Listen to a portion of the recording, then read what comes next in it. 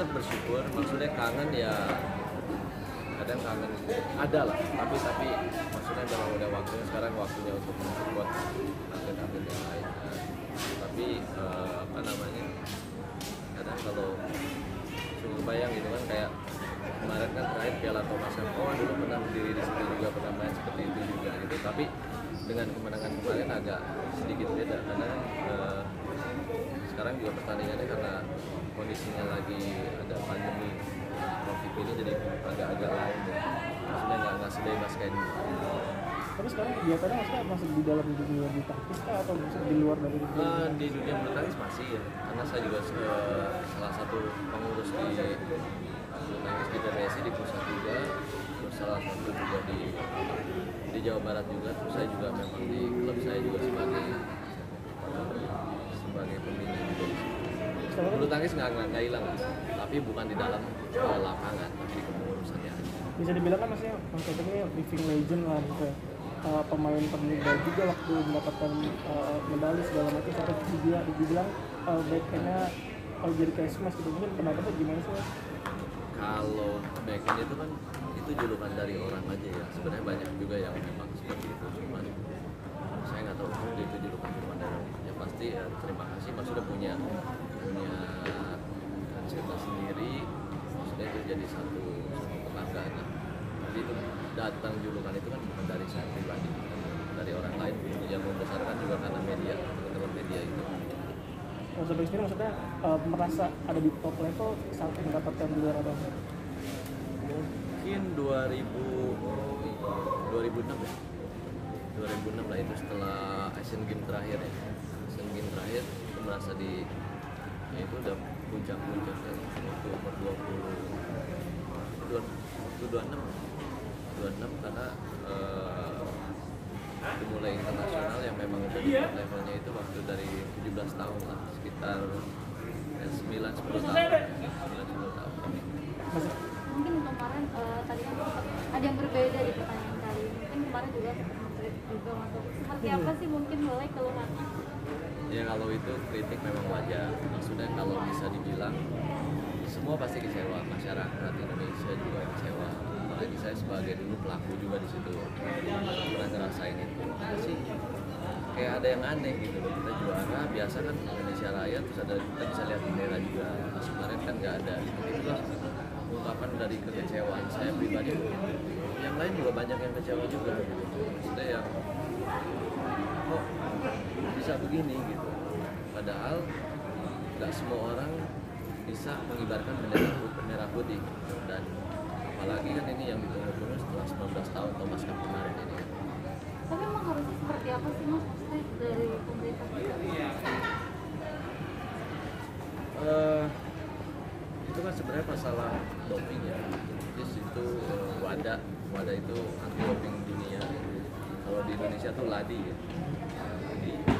Dan mereka itu tidak memenuhi syarat administrasi untuk eh, doping tes dalam setahun itu kan kita harus ada tes doping 1000 sampel. Administrasinya kita nggak lengkap dan nggak terpenuhi. Meskipun kita kadang udah diperingatin satu kedua ketiga akhirnya pas kemarin terakhir. Dan apesnya lagi kita udah diperingatin sebelum Cup gitu loh. Jadi pas Thomas Cup ya bersyukur kita juara. Tapi ya itu nggak ada bendera merah nah eh, saya sebagai yang pernah di situ juga sangat sangat kecewa gitu.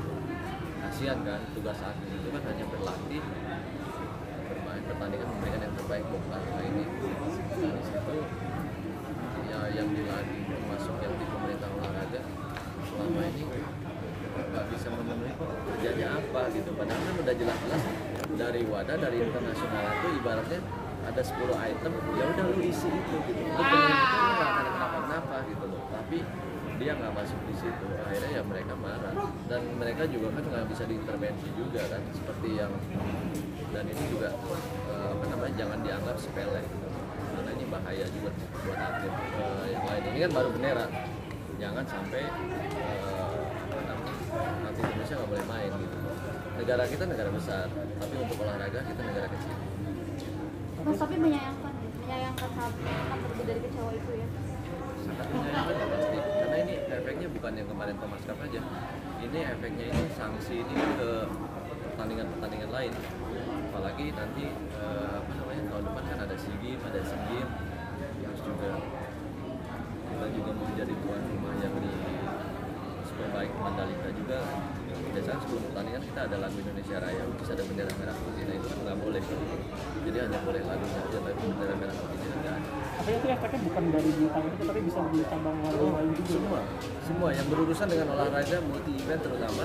Terus kita juga nggak bisa nyelenggarain yang event yang besar juga multi event terutama untuk negara kita nggak bisa tapi ya eh, apa namanya katanya kemarin kan kita kan jadi kena sanksinya tadinya satu tahun enam bulan ya enam bulan terus ya itu eh, apa namanya regulasinya dari wadah memang harus dipenuhi yang memang ada kekurangan banyak gitu.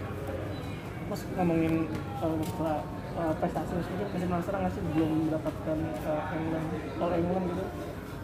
Kalau All England itu memang ya kalau orang-orang kan taunya All England itu pertandingan yang bisa dibilang paling lama paling tua.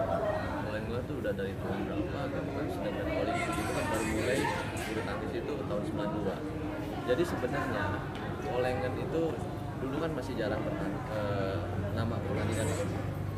Dan orang selalu yang ingat itu kan All England dan apalagi kita eh, legenda kita salah satu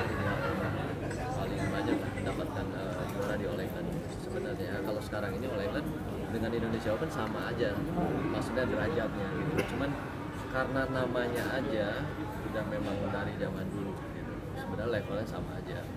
Kalau sekarang bisa dibilang belum kompet All England.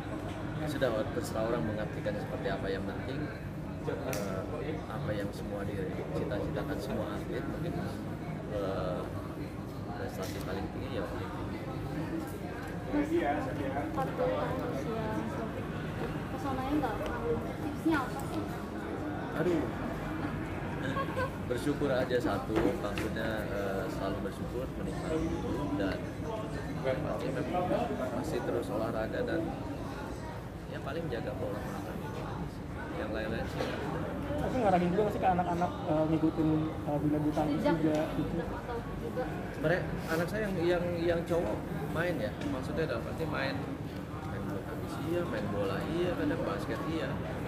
Yang penting buat saya tuh mereka mau olahraga gitu loh. Jadi jangan kayak eh, apa namanya cuma diem di rumah nggak gerak gitu. Itu yang saya nggak mau gitu yang penting olahraga. Tapi nggak saya mengharuskan dia untuk menekuni satu misalkan orang bilang kan kenapa sih nggak diarahin untuk main bulu tangkis tapi kalau sekarang saya maksa untuk jadi kayak gitu ternyata nggak gampang. Tapi kadang-kadang jadi penerus topik nih mungkin aja. Tapi saya nggak mau maksa lah yang penting olahraga dia harus tapi untuk prestasi nggak bukan suatu kewajiban ya. Kalau dia nantinya memang ada arah ke situ ya pasti saya support. Tapi yang pasti saya mau dia memang belajar dia mau supaya dia sekolah. Mungkin apa namanya untuk anak perempuan sekarang sudah dewasa juga. Menjadi seorang ayah lebih protektif sih sekarang anak sudah gadis gitu. Protektif pasti tapi kebalikan dia yang protek saya. Gimana mungkin?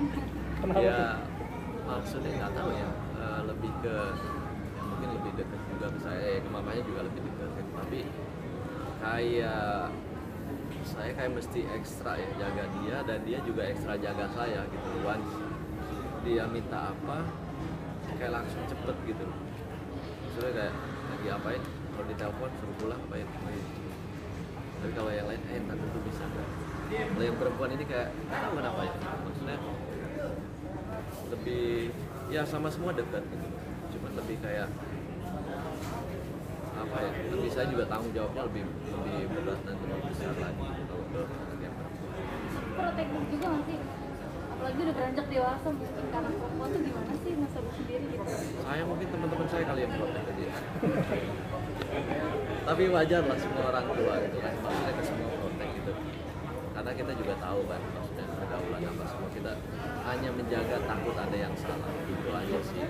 Apalagi kan kalau di masih anak-anak itu kan kita harus karakternya harus benar. Terus gimana jangan sampai salah. Itu kita yang takut.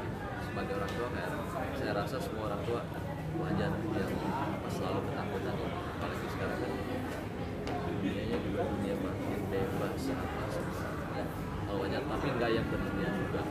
Karena kalau terlalu dikekang juga nggak bagus juga. Kita hanya mengawasi kita banyak ya kasih tahu lebih baik